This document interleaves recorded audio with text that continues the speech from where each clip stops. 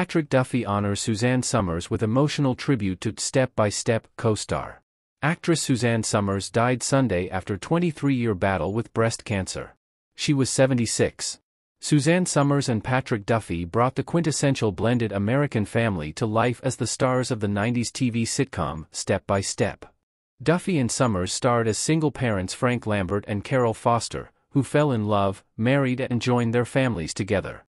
Not only were the newlyweds starting over again as adults, they each had three children and created a new idea of family.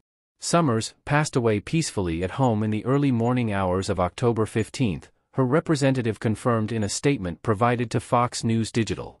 She survived an aggressive form of breast cancer for over 23 years.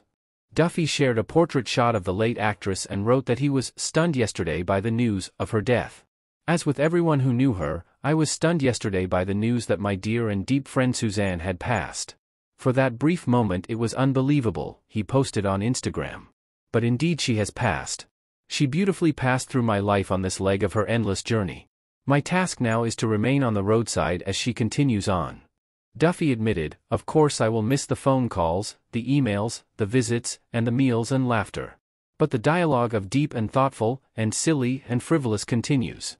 My conversations with her now will be held solely through my daily Buddhist practice. He added, I am not alone in wishing I had one more face to face with her and Alan, but had we had that meeting last Friday, I would still be yearning for just one more today. It is the painful beauty of our present human reality. What strength and support I can muster I send to Alan and Bruce and her family, and to her I say, when the stone of your life dropped in this pond, you made quite a ripple, my friend. Thank you.